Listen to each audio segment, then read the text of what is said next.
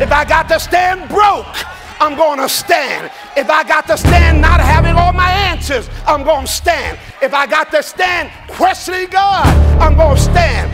I, but the devil is not going to knock me down. When he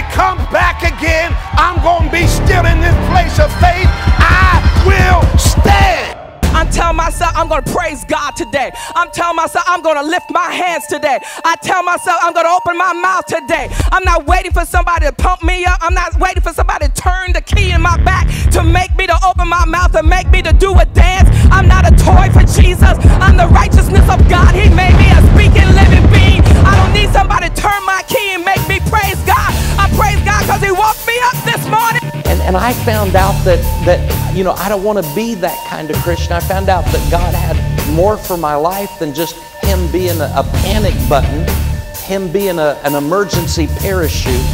Uh, I found out that God not only wanted me to survive through the crises of life, but I found out that God had an abundant life for my whole life plan. Ownership mentality is different.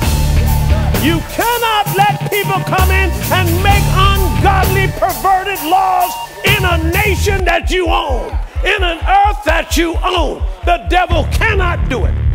Because he loved me, he's not going to see me go through the storm and leave me to die in the storm and leave me for the enemy to laugh at me. Because he loved me, he covered me.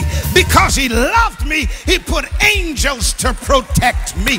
Because he loved me, yea, though I walk through the valley. Oh, I want to preach like a madman today. Because he loved me, no weapon formed against me shall prosper. I've been all over the world. I have found out that people are in a struggle, in a war, in a fight. They're battling all the time. They go to bed tired. They get up tired. You're 30 years old and tired. You're tired because you're fighting in your sleep, fighting on your way to work, fighting your way to raise your children, fighting to hold your marriage together, fighting not to cuss out anybody, fighting trying to shut your mouth, fighting to hold your peace. Slap somebody and tell them I'm in a fight. Don't miss the 2014 Direction for Life Conference, Tuesday, November 4th through Thursday, November 6th.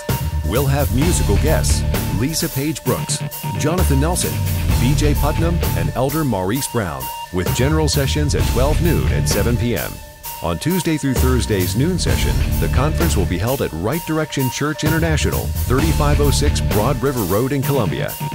Also on Wednesday, November 5th, high school students can join our EPIC student ministry at 7 p.m. for youth experience at the EPIC Center, 1230 St. Andrews Road, where they'll have a teen worship experience, food, fun, and a live DJ. Then on Thursday at 7 p.m., meet us at the Columbia Metropolitan Convention Center at 1101 Lincoln Street, downtown Columbia. For Thursday's evening session, we'll have a limited number of VIP seating available for just $50 with online payment only. Mark your calendars to attend the 2014 Direction for Life Conference, Tuesday, November 4th through Thursday, November 6th. For more information or to register, call 877 798 5433 or log on to rightdirection.info.